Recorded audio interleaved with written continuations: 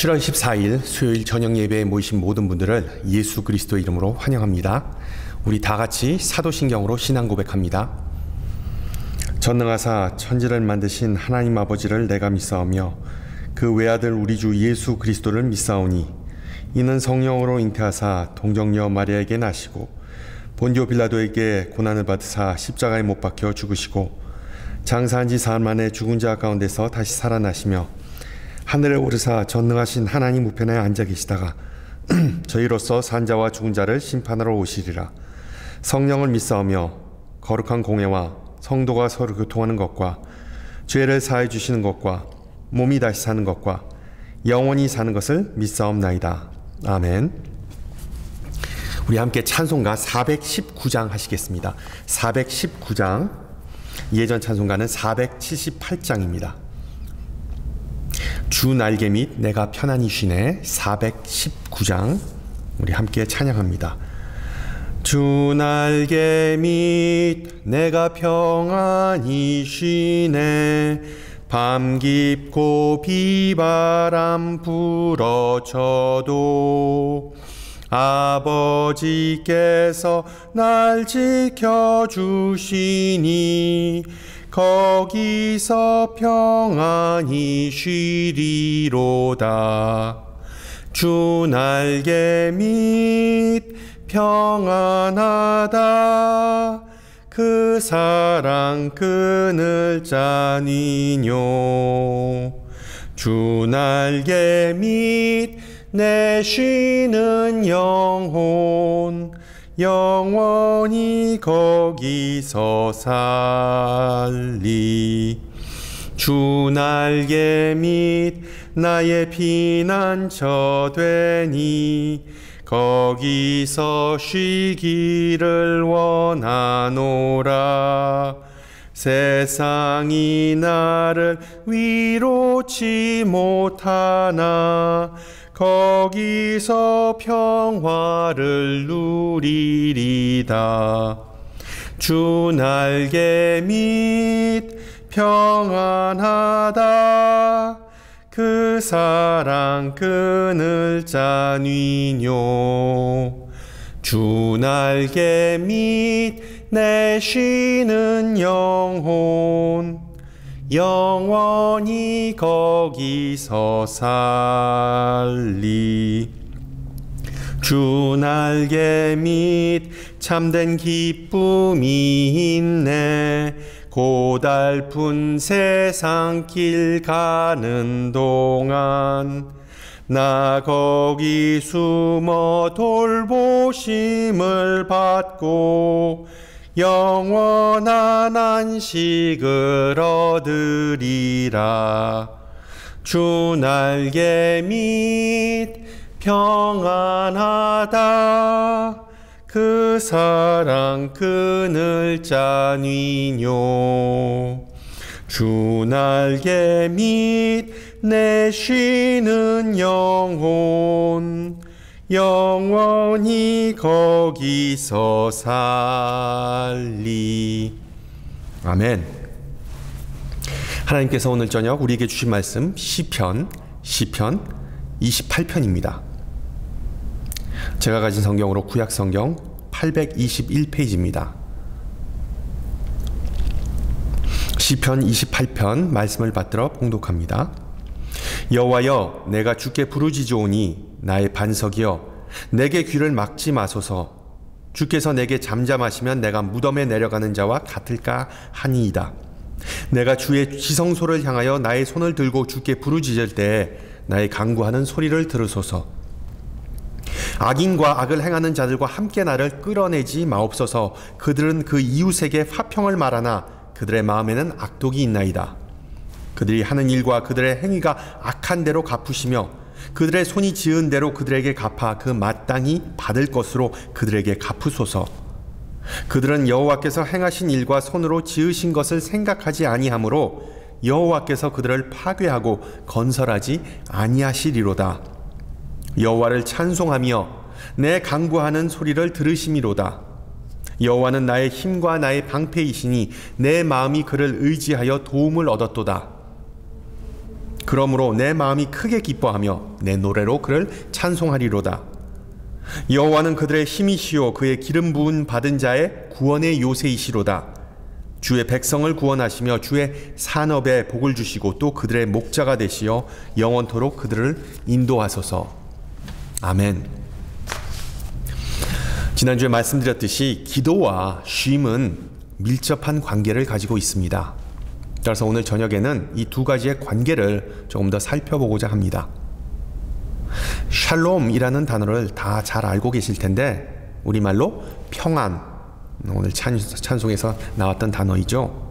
혹은 화평 그리고 영어, 영어로는 peace입니다. peace 1차적으로 평화 혹은 peace의 의미는 어떤 다툼이나 전쟁의 부재를 의미합니다.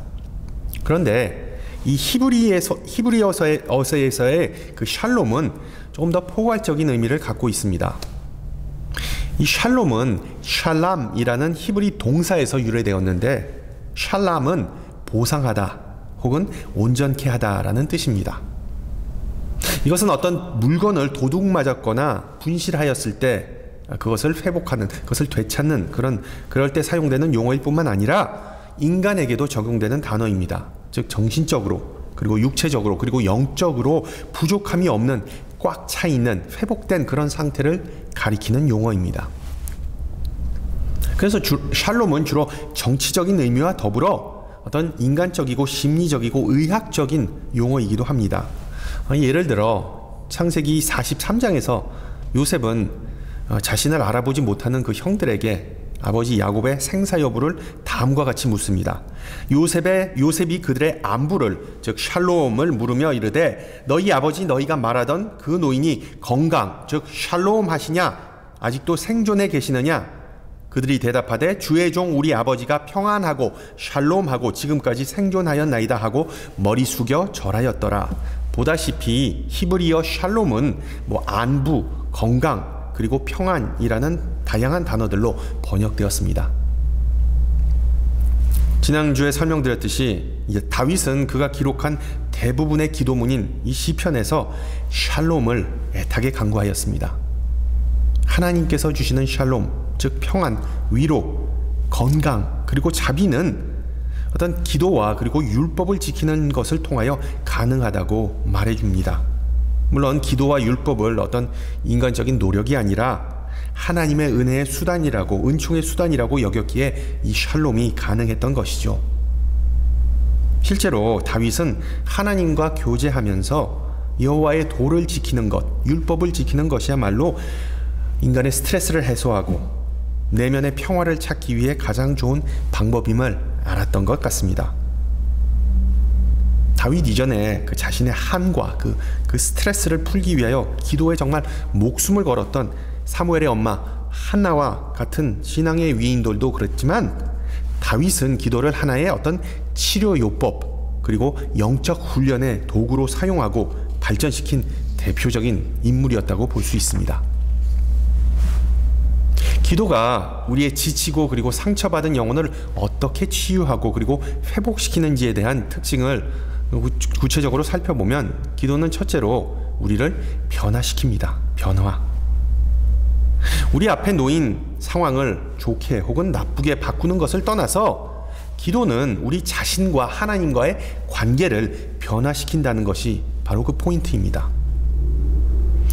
오늘 읽은 본문은 구원을 위한 기도문이자 하나님에 대한 애타는 호소문인데 2절을 한번 보세요.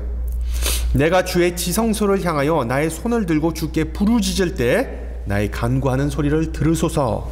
보다시피 다윗의 기도는 하나님과의 더 친밀한 관계를 relationship을 쌓고자 하는 간구입니다.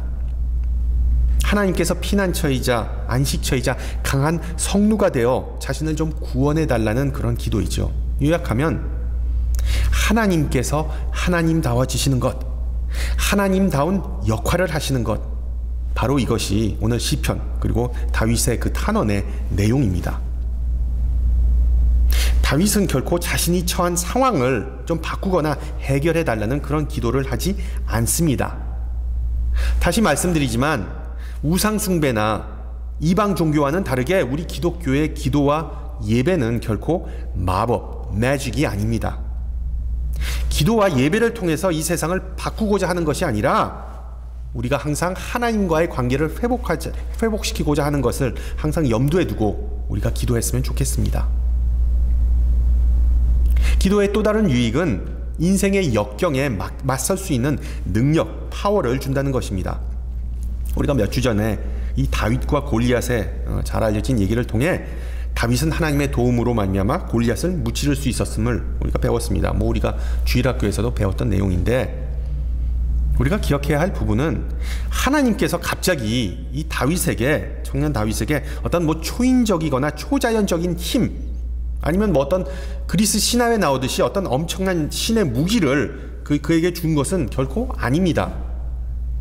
다윗은 과거에 많은 맹수들을 상대하면서 그 돌팔매질을 벌써 연마하고 그 정말 그 돌팔매질의 어떤 그 도사가 되었기 때문에 이미 완성된 그런 싸움꾼이었습니다.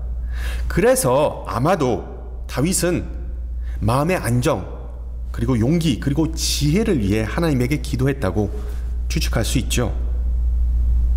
중요한 전투를 앞두고 긴장하지 않고 자신감을 잃지 않고 자기 자신이 되는 것 그것이야말로 다윗에게 가장 필요했던 부분이라고 볼 수 있습니다.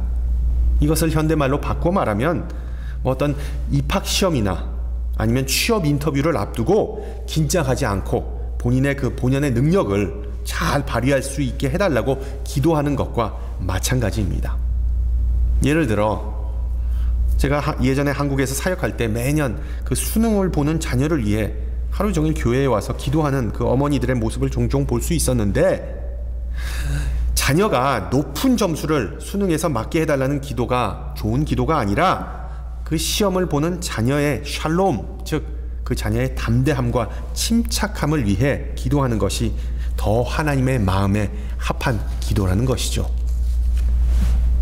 마지막으로 기도의 또 다른 효능은 바로 샬롬을 이루기 위해 인간의 뜻과 그리고 하나님의 뜻이 일치하도록 해주는 것입니다. 일치.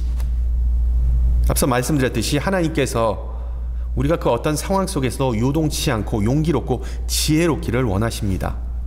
2절의 내용처럼 삶이 힘들고 어려울 때 하나님의 도움과 구원을 구하는 것은 물론 당연한 일입니다. 하나님께서는 사망을 포함한 최악의 상황으로부터 우리를 보호하시고 구원하시기를 원하는 하나님이시기 때문입니다. 이 모든 일에 우리를 사랑하신 이로, 이로 말미암아 우리가 넉넉히 이기는이라 내가 확신하노니 사망이나 생명이나 천사들이나 권세자들이나 현재일이나 장래일이나 능력이나 높음이나 낮음이나 어, 다른 어떤 피조물이라도 우리를 우리 주 그리스도 예수 안에 있는 하나님의 사랑에서 끊을 수 없다라는 로마서의 약속을 믿으시기 바랍니다. 오늘 본문은 다윗이 기도를 통해 하나님과 교제하고 쉼과 평안을 얻고자 하는 내용입니다. 문제는 그 선망의 대상인 하나님이 부재 중이고 기도에 응답하시지 않는다는 점입니다. 결과적으로 시편 기자는 하나님과 그 어떤 contact, 어떤 relationship, 어떤 관계를 맺을 수 없기 때문에 점점 더 스트레스만 쌓여간다는 것이죠. 바로 1절에서 5절까지의 내용이 바로 그 침묵하시는 하나님에 관한 내용입니다. 하나님을 애착해 애타게 찾는 그 다윗의 기도 내용을 우리가 다시 한번 살펴보고자 합니다. 들어보세요. 여호와여 내가 주께 부르짖으오니 나의 반석이여 내게 귀를 막지 마소서 주께서 내게 잠잠하시면 내가 무덤에 뭐 수렁에 내려가는 자와 같을까 하나이다. 내가 주의 지성소를 향하여 나의 손을 들고 주께 부르짖을 때에 나의 강구하는 소리를 들으소서 실제로 상당수의 시편이 하나님을 귀머거리 또는 벙어리로 묘사합니다. 뭐 귀머거리하고 벙어리 하니까는 좀 불경스럽게 느껴지네요. 뭐 요즘 말로 하면 청각 장애인 그리고 언어 장애인이라고 합시다. 예. 또 다른 탄원 시인 시편 83편에서 다윗, 다윗은 다음과 같이 기도합니다. 하나님이여 침묵하지 마소서. 하나님이여 잠잠하지 마소서. 그리고 조용하지 마소서. 잠잠, 조용, 침묵은 뭐 거룩, 전능, 영원과 같은 하나님의 잘 알려진 속성과는 정말 상반된 그런 속성들이죠. 그래서 정확히 뭐가 문제인지는 알 수 없지만 적어도 다윗은 이것이 생사의 문제를 놓고 괴로워하는 모습이 내가 무덤에 내려간다라는 표현을 통해 드러납니다.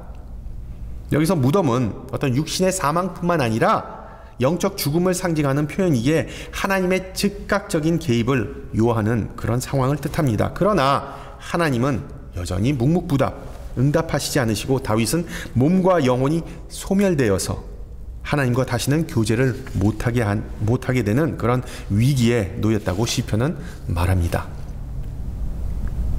이런 심각한 상황을 다윗은 단지 말이 아닌 행동으로도 드러내죠. 다윗은 지성소로 향해 자신의 손을 든다고 어, 이절은 기록하는데 이렇게 다윗 시대에는 아직 성전이 지어지지 않았기 때문에 여기서 말하는 지성소는 성막, 성막을 의미하는 것이죠. 뭐 성전이나 성막이나 둘 다 하나님의 임재를 의미합니다. 따라서 다윗이 기도할 때 지성소를 향해 이렇게 손을 든다는 의미는 자기 자신이 지성소가 되어서 하나님의 임재를 초대하고 촉구한다는 그런 의미입니다. 성도 여러분, 하나님의 임재를 갈망하는 그런 기도를 한 적이 언제였는지 혹시 기억하시는지요?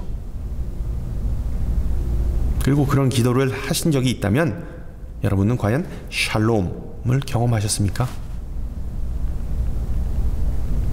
우리는 기도를 몇 번 하다가 아무런 응답이 없을 경우에 기도를 좀 멈추고 좀 합리화하는 그런 경향이 있죠. 아, 이 기도 제목은 주님의 뜻이 아닌가 보다. 아니면 뭐 모든 것을 아시는 주님께서 알아서 하시겠지 등등. 우리 신앙인들이 기도를 소홀히 하는 또 다른 이유는 아직 좀 살만하니까 인생의 짐이 그래도 짊어질만 하니까 하나님에게 구조 요청 즉 911을 다이얼할 때가 아직 아니다라는 그런 아니란 생각이 때문이 아니겠습니까? 또한 많은 성경 공부와 그리고 또한 설교를 통해서 기도는 반드시 역경과 실패로부터 자신들을 지켜주지 못한다는 그 사실을 학습했기 때문이기도 합니다.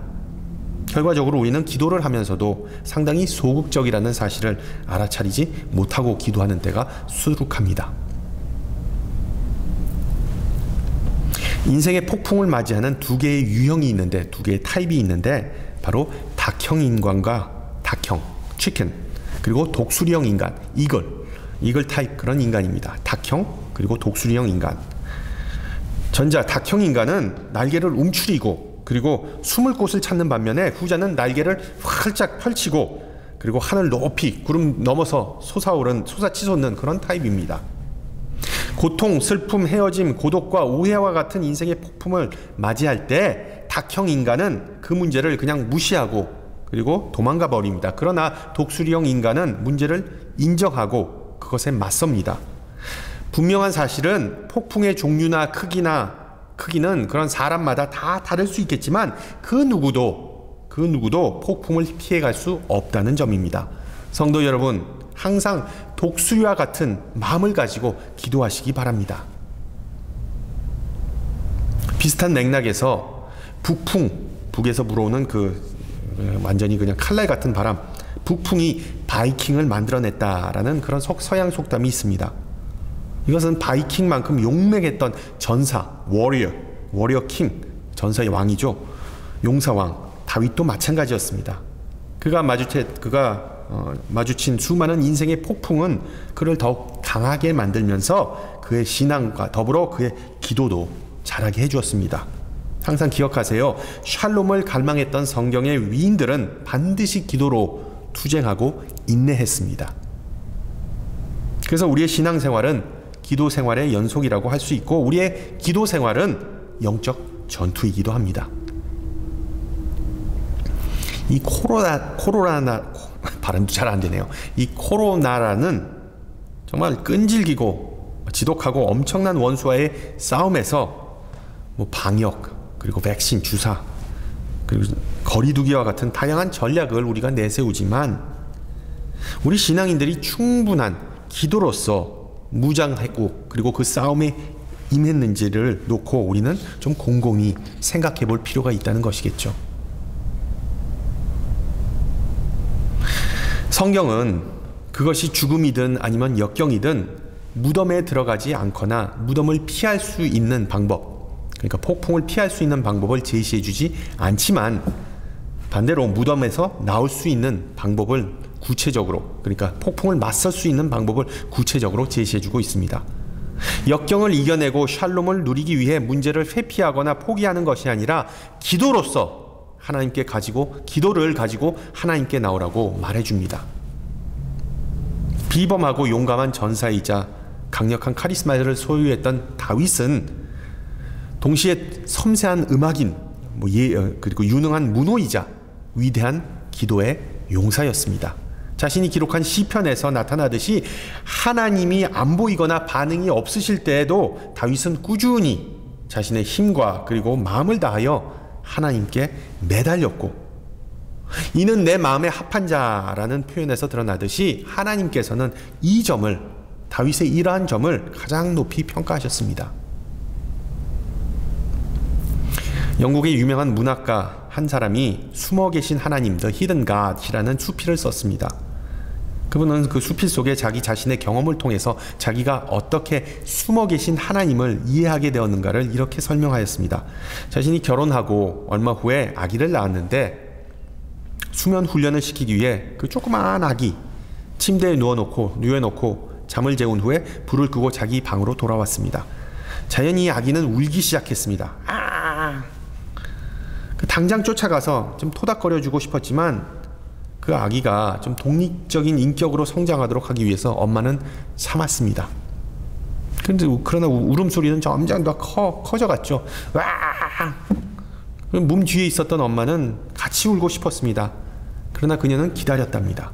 그리고 엄마는 이렇게 마음속으로 말했습니다. 아가야, 나는 너에게서 멀리 떨어져 있지 않단다. 엄마는 너를 도울 수가 있단다. 그러나 너는 이 울음을 이기고 혼자 그 방에서 자는 것을 배워야 해. 이러한 다짐, 이러한 독백을 하는 중에 그녀는 순식간에 시편에 나오는 그 숨어 계신 하나님을 이해하게 되었다고 고백하고 있습니다. 뭐 수면 훈련을 애기 수면 훈련을 해보신 분들 중에 뭐 성공하신 분들도 있고 실패하신 분들도 계실 겁니다. 결론적으로 뭐 시간이 문제이지만 예, 뭐 아기가 점점 성장하면 자기가 알아서 혼자 잘 자게 되죠. 중요한 점은 우리의 어둡고 힘든 때에도 하나님은 항상 우리를 도우실 준비가 되었다는 점입니다. 그러나 방금 전에 언급한 엄마처럼 하나님은 문 뒤에 숨어 계시기에 우리의 눈으로는 우리의 시야에서는 안 보입니다. 그러나 우리를 위해 마음을 졸이시며 기도하십니다. 그리고 그렇게 하시는 이유는 우리 스스로가 샬롬을 찾는 방법을 터득하고 그리고 우리 스스로 더 성장하고 강해지기를 원하시기 때문입니다. 우리를 위해서입니다. 우리를 힘들게 하는 것이 재밌거나 아니면 우리에게 관심이 없어서가 그러는 것은 결코 아니죠. 또한 영적 성숙, 성숙만이 하나님의 침묵을 설명해주는 유일한 요소는 아닙니다. 뭐 욥기를 보면 인간은 하나님을 이해하는데 한계가 있기 때문에 하나님은 그냥 아무 말 않고서 때가 지나가기를 기다리시기도 한답니다. 그 시간이 약이라는 표현이 있듯이 바울은 그때 우리가 얼굴과 얼굴을 대하여 보고 그 뜻을 온전히 알게 되고 기록하죠. 하나님의 때에 우리는 온전히 알게 될 것입니다. 그리고 마지막으로 우리 인간이 샬롬을 이루지 못하는 가장 큰 원인은 바로 죄의 문제이죠. 구약의 희생제사의 목적은 인간의 죄를 제거하고 하나님과의 그 샬롬, 교제를 다시 가능케 하기 위한 목적에서 드린 것이었습니다. 뭐 이 모든 내용을 종합해 보면 성 어거스틴의 유명한 그 인용처럼 하나님을 향한 인생의 여정 속에서 우리의 마음은 주님 안에서 영원히 쉴 때까지 결코 쉴 틈이 없다는 사실입니다. 그러나 우리가 살면서 잠시 그리고 잠깐 동안 맛보는 샬롬 정말 꿀맛 같은 샬롬도 존재한다고 다윗은 말해줍니다. 여러분 6절에서 9절을 보시면 그 다윗의 탄원이 갑자기 찬양으로 바뀌는 그런 모습을 보게 되죠. 여호와를 찬송하며 내 강구하는 소리를 들으심이로다. 여호와는 나의 힘과 나의 방패이심이 방패이시니 내 마음이 그를 의지하여 도움을 얻었도다. 주의 백성을 구원하시며 주의 산업에 복을 주시고 또 그들의 목자가 되시어 영원토록 그들을 인도하소서. 절망에서 소망으로의 이런 갑작스러운 전환. 울음에, 울음에서 갑자기 웃음 상당히 이상하게 느껴지죠. 마치 목 놓아 울던 사람이 갑자기 박장대소를 하면서 그런 모습을 보일 때 어, 옆에 있는 사람들은 완전히 이게 이 사람이 돌았구나라는 생각하는 것과 같은 이치입니다. 이런 반전의 이유를 정확히 알 수는 없습니다. 아마도 본문 3절에서 등장하는 악인 여호와의 법을 지키지 않는 자들에게 뭐 심판이 내려졌거나 그들이 호되게 당했다고 추측할 수밖에 없습니다. 뭐 어찌됐든 본 시편의 요점은 인간의 슬픔과 그리고 눈물이 언젠가는 찬양으로 승화될 거라는 점. 바로 요한계시록에 나온 하나님께서 눈에서 눈물을 닦아주시는 그새 예루살렘의 묘사와 같은 맥락입니다. 그 때가 바로 영원한 샬롬, 영원한 쉼과 평안을 얻게 되는 때입니다. 관건은 그것이 과연 언제일까? 즉 하나님께서 우리의 기도를 과연 언제 들어주실까이겠죠. 여러분 저도 그걸 좀 하나님께서 속 시원하게 알려주셨으면 좋겠습니다. 주님, 과연 언제쯤 이 코로나가 종식되고 우리의 교회의 사역이 온전히 회복될까요? Big question mark. 분명한 점은 하나님의 침묵이 영원히 이어지지는 않을 것이라는 점입니다. 하나님께서 우리를 우리의 기도를 들으시고 응답하시는 그 날이 바로 우리의 슬픔이 기쁨으로 바뀌는 날이라는 점을 성경은 약속하고 있습니다. 예를 들어 이사야서 42장은 다음과 같이 말하죠. 내가 오랫동안 조용히 침묵을 지키며 참았으나 이제는 내가 숨이 차서 헐떡이는 해산하는 여인과 같이 부르짖겠다. 갑자기 귀머거리고 어, 청각장애인 자 언어장애인이었던 하나님께서 출산하는 고통 소리 고통 때문에 소리를 지르는 지르는 그런 해산하는 출산하는 여인으로 어, 변하십니다. 뭐 해산에 관한 은유보다 여기서는 이제는 이라는 단어를 주목하세요. 이제는 and now.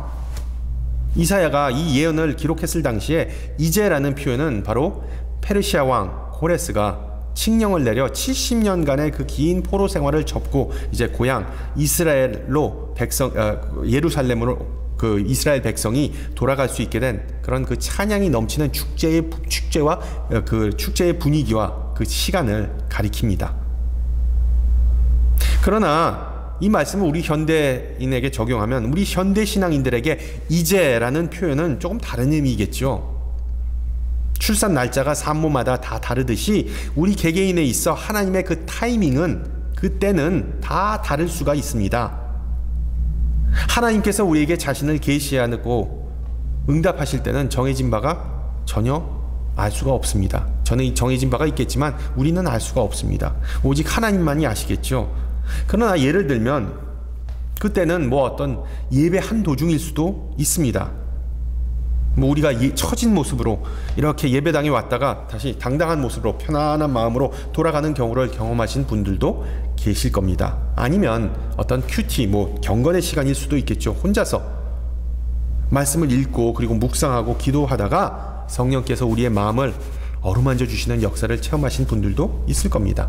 아니면 인생의 어떤 특정한 사건이나 만남을 통해서 하나님을 알게 되고 그 뜻을 헤아리는 체험도 있을 수 있습니다. 보다시피 이 모든 경우는 다 샬롬의 때를 가리킵니다. 어떤 사람에게는 좀 빠르게, 어떤 사람에게는 다른 이에게는 좀 느리게, 또 누구에게는 죽고 나서야 하늘나라에 가서 샬롬을 누리는 경우도 있습니다. 예를 들어 노예, 죄수 그리고 총리가 되었던 요셉이 샬롬을 찾기 위해서는 10년이 넘는 세월이 흘렀습니다. 모세에게는 40년이라는 시간이 필요했고 다윗은 15년의 기다림이 필요했습니다. 안타깝게도 눈물의 선지자 예레미야는 여호와의 샬롬을 살아생전에 목격하지 못하고 먼 애굽 땅에서 목숨을 마감했습니다. 누가복음에 나오는 시므온이라는 노인은 거의 죽기 전에 비로소 예수 아기 예수라는 그 이스라엘의 구원과 평화를 맛볼 수 있었습니다. 그리고 눈을 감았습니다. 이 모든 신앙의 위인 선배들의 삶을 통하여 우리는 단순한 진리를 다시 한번 배우게 되죠.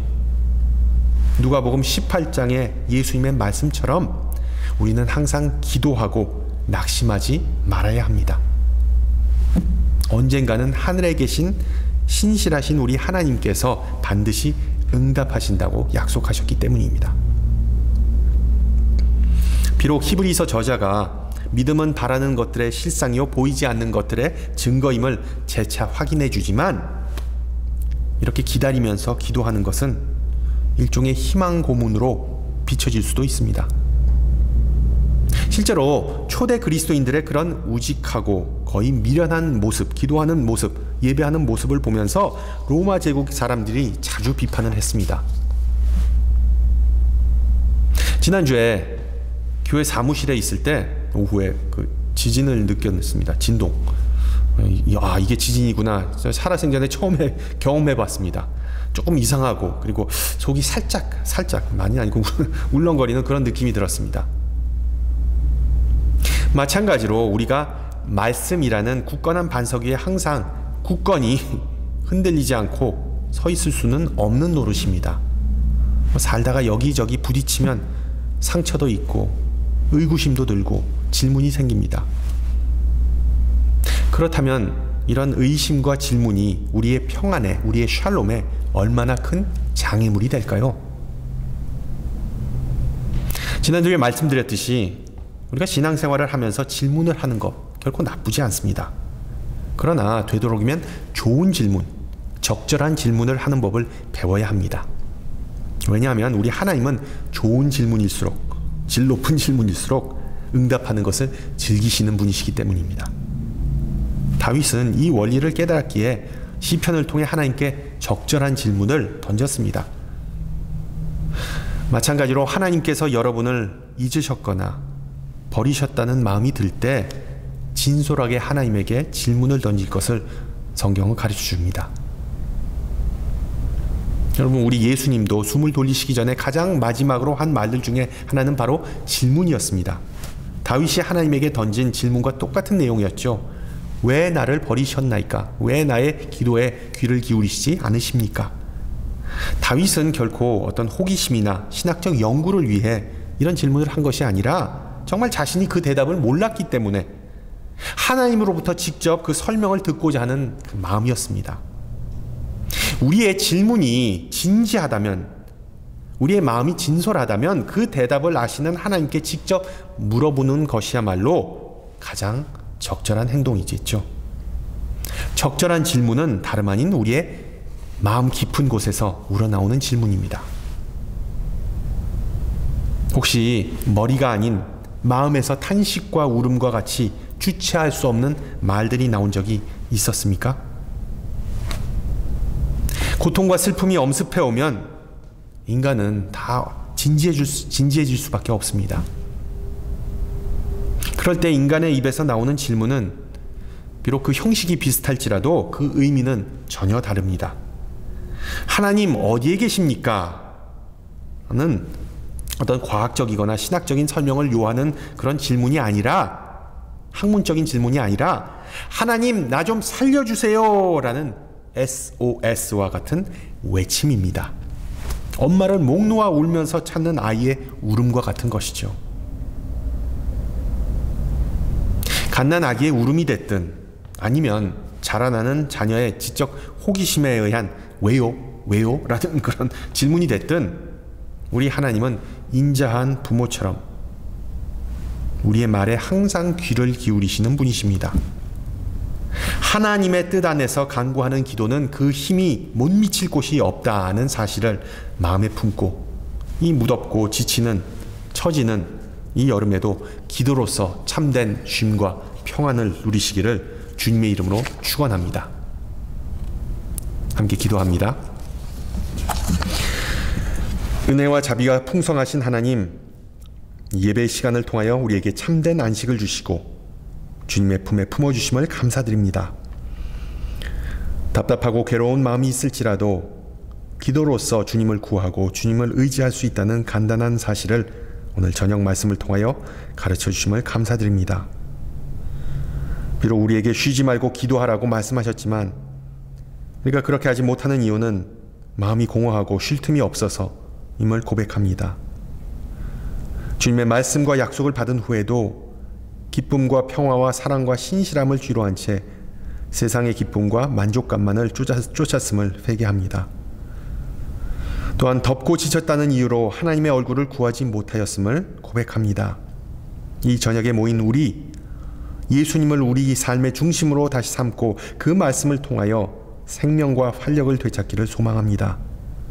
주님께서 주시는 멍에는 가볍고 단순한 것임을 믿고 다시 한번 우리의 마음을 주님께로 향하고 주님을 쫓게 하옵소서. 특히 무덥고 지치는 여름 속에서 우리의 삶의 페이스를 좀 늦추고 사소한 것들을 돌아보면서 감사하면서 안식과 평안을 누리게 하옵소서. 주님, 이 여름을 고통과 슬픔 가운데 보내는 이들을 기억하게 하시고 서로를 위하여 중보하기를 소망합니다. 코로나로 인하여 다시 위협을 받고 있는 상황 속에서 모든 이들을 지켜 보호하여 주시고 병든 자에게는 치유와 소망을 주시고 또한 생계가 어려운 이들에게는 주님의 축복과 긍휼이 임하기를 기도합니다. 특히 가뭄과 더위로 인하여 고통받는 이 땅과 피조물을 불쌍히 여기사 주님의 위로와 도움이 함께하옵소서. 함께 주님 가르쳐 주신 기도합니다.